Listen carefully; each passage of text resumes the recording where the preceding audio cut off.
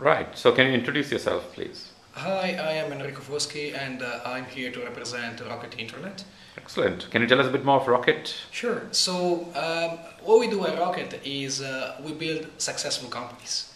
Right. What this means is we have a number of uh, internal departments uh, from QA, mobile engineering, legal, branding, HR, and every month we create venture teams. Venture Right. teams that will have technical people, founders, Yeah. and will, with the help of all these internal departments, will launch a product live within usually 100 days and, and be quite successful as that Three months. because that's our uh, our portfolio has a, a 80 to 85 percent success rate. Wow, that's just amazing. It's one of the, I guess, the largest European portfolios of, of new companies. I yeah, not just European actually. We have a lot of companies in uh, Africa, in, uh, in South America, Brazil in and- Asia. yeah. Uh, uh, we, we are actually the largest internet platform if you consider all the companies outside of United States and China. We have 75 companies in our portfolio and all operating quite successfully. Wow. So with such a large portfolio of companies, I guess uh, there's talent requirement across all these companies, and then does Rocket kind of centralize this and, and, and try to help these companies by recruiting for them? How, how does that work? Yeah, we, we well, it happens both ways. So we do help uh, these companies recruiting, Yeah. but also the company may recruit by themselves because, Sure.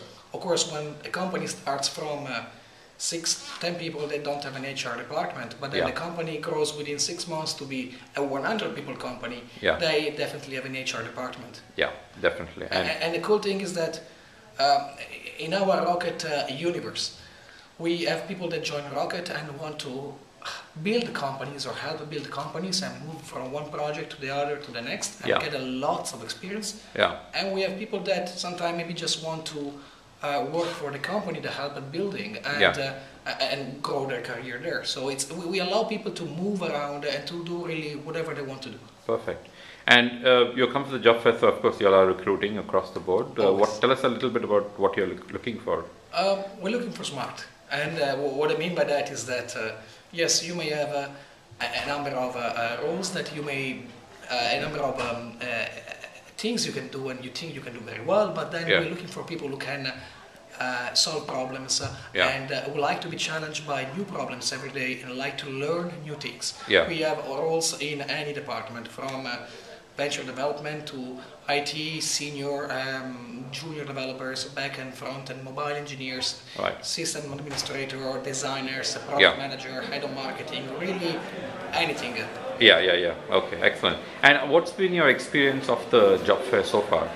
Uh, it's actually, I'm actually quite excited by this because uh, I didn't expect such a high turnover, and Yeah. uh, it's great to see that so many people are looking beyond the nine to five job, Yeah. and they're looking to to do something that gives meaning to uh, what they actually do in the majority of their, their lifetime. Because you're going to be spending uh, Monday to Friday 80% of your day in this place. Yeah. So you can have like uh, you can think that uh, having working in a in a big corporate building with a 20 hours per week it can give you a great work-life balance. Yeah. But I can tell you by experience that if you don't enjoy the 20 hours, they will never give you such a great work-life balance as working in a in a passionate in a, in a startup you're passionate for for 40 or even like 42 hours a week. Yeah. Is uh, you really need to like what you do, and it's great to see so many people in this fair that uh, are looking exactly for that, for a Yeah. challenging environment, uh, and, and are talking to so many companies that can offer them that. Perfect.